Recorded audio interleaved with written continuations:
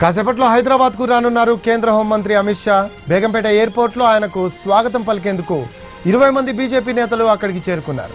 హైదరాబాద్ పర్యటనలో భాగంగా ముందుగా సిఎఫ్ఎస్ఎల్ క్యాంపస్కు సందర్శిస్తారు అమిత్ షా. అక్కడ నేషనల్ సైబర్ ఫోరెన్సిక్స్ ల్యాబొరేటరీని ప్రారంభిస్తారు. ఆ తర్వాత శంషాబాద్ ఎయిర్పోర్ట్లోని నోవాటెల్ హోటల్లో బీజేపీ రాష్ట్ర కోర్ కమిటీ నేతలతో భేటీ అవుతారు. ఆ సమావేశం తర్వాత బండి సంజయ్ పాదయాత్ర ముగింపు సందర్భంగా ఏర్పాటు చేసిన తుక్కుగూడ బహిరంగ సభలో పాల్గొంటారు అమిత్ షా.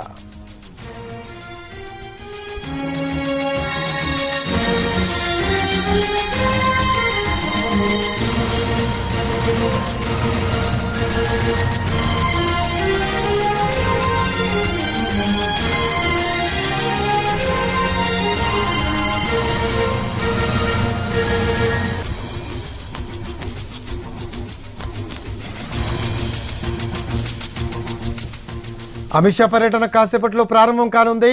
అప్డేట్స్ ఎయిర్పోర్ట్ నుంచి రాఘవేంద్ర అందిస్తారు. రాఘవేంద్ర అమిత్ షా ఎప్పటిలోపల చేరుకునే అవకాశం ఉంది? అలాగే పర్యటన ఎప్పటిలోపల ప్రారంభమయ్యే అవకాశం ఉందంటారు?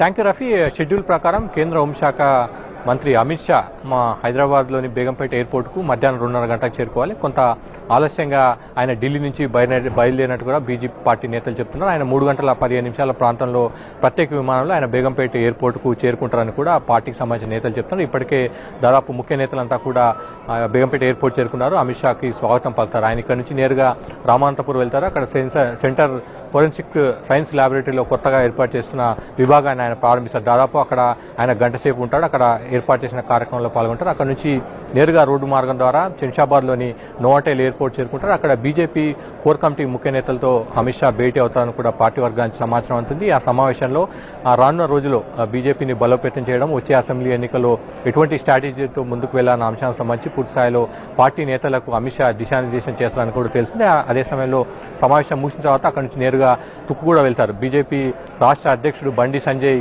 రెండో విడత పాదయాత్ర ముగింపు సందర్భంగా ఏర్పాటు చేసిన బహిరంగ సభలో అమిత్ షా పాల్గొని అక్కడ పార్టీ శ్రేణులను అది వచ్చిన వాళ్ళని ఉద్దేశించి ప్రసంగిస్తారు. మొత్తం మీద మాత్రం అమిత్ షా పర్యటనపై సర్వత్రా ఆసక్తి నెలకొని ఉంది ఇప్పటికే అధికార టీఆర్ఎస్ పార్టీ బీజేపీకి సంబంధించి బీజేపీని అదేవిధంగా అమిత్ షా టూర్ను టార్గెట్ చేస్తున్నారు. అమిత్ షా ఎందుకు వస్తున్నారు? తెలంగాణకు ప్రత్యేకంగా గత ఏడేళ్ళుగా కేంద్ర ప్రభుత్వం చేసింది ఏం లేదన్న అంశాన్ని కూడా ప్రధానంగా ప్రస్తావిస్తున్నారు. అదే సమయంలో విభజన హామీలను కూడా అమలు చేయలేదన్న అంశాన్ని కూడా ప్రధానంగా ప్రస్తావిస్తున్నారు. వీటన్నిటికి సంబంధించి సమాధానం చెప్పాలి. ఈ డిమాండ్లకు సంబంధించి సానుకూల ప్రకటన కూడా సభలో చేయాలనే డిమాండ్ కూడా వారంతా కూడా వినిపిస్తున్నారు మరోవైపు కాంగ్రెస్ పార్టీ నుంచి కూడా విమర్శలు వినిపిస్తున్నాయి.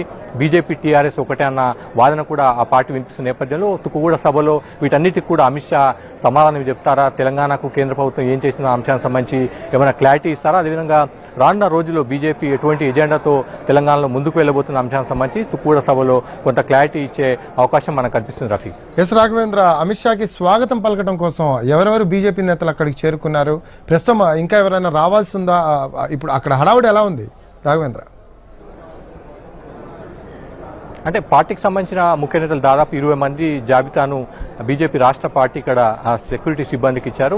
వాటిలో కొంతమంది నేతలు వాళ్ళు డీకే అర్ణ ఉన్నారు లక్ష్మణ్ ఉన్నారు అదేవిధంగా పార్టీకి సంబంధించిన ఇద్దరు ఎంపీలు వచ్చారు. ముఖ్య నేతలంతా కూడా చేరుకున్న కార్యకర్తలను ఇతర నేతలను మాత్రం ఆహ్వానించలేదు. ఎవరైతే ఇరవై మంది జాబితా ఉందో ఆ జాబితా ఉన్న వారిని మాత్రం లోపలికి ఆహ్వానించారు. వారంతా కూడా వెయిట్ చేస్తున్నారు. సుమారు మూడు గంటల పదిహేను నిమిషాల ప్రాంతంలో ప్రత్యేక విమానంలో అమిత్ షా బేగంపేట ఎయిర్పోర్ట్ చేరుకుంటారు. ఇప్పుడే మనకు సమాచారం అవుతుంది. కొద్దిసేపటి క్రితమే అమిత్ షా ఎయిర్పోర్ట్ చేరుకున్నారు. పాల్గొన్నారు బీజేపీ నేతలు ఆయనకు స్వాగతం పలకబోతున్నారు Shafi right thank you Raghavendra